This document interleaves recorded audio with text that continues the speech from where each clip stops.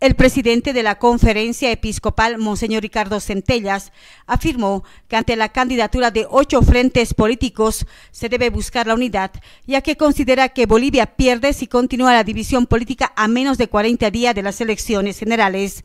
La autoridad eclesial reiteró el pedido a los candidatos de despojarse de sus apetitos personales por el bien común de la población. Yo creo que en un proceso electoral eh, tiene que verse eso un espíritu de unidad.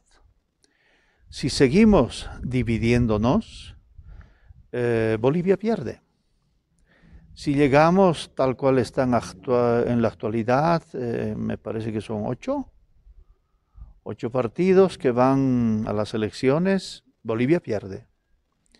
Hay que buscar la unidad, porque la situación económica, social, la situación general en Bolivia es muy delicada. Por esta situación tendríamos que buscar la unidad. Ojalá se pueda conseguir. Que todos los em, que están como candidatos puedan encontrarse y hablar juntos para ver cuál es el camino más aconsejable para Bolivia. Lo que, Bolivia necesita eh, no es cantidad de partidos, no es cantidad de propuestas.